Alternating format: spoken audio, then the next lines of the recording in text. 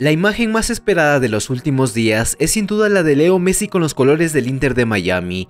El argentino lleva tres días en su nueva ciudad, pero hasta el momento todo ha sido hermetismo absoluto. Hemos podido ver a Messi haciendo su vida normal, incluso en la noche de ayer salió de compras junto a su familia. Imágenes que ha sorprendido sin duda, Messi haciendo su vida normal, pero eso sí regalando una que otra foto. Imágenes de Messi por Miami hay varias, pero con colores del Inter de Miami todavía no se da. La imagen más cercana de lo que estamos esperando se ha dado esta mañana, donde Teis Sport ha captado la llegada de Messi al entrenamiento con su nuevo club.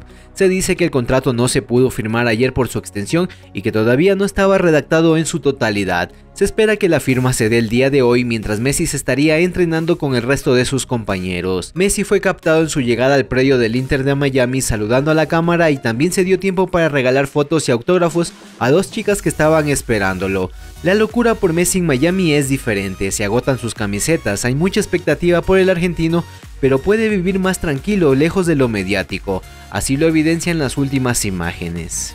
La estrella más esperada ya está en Miami. Acá en la Florida.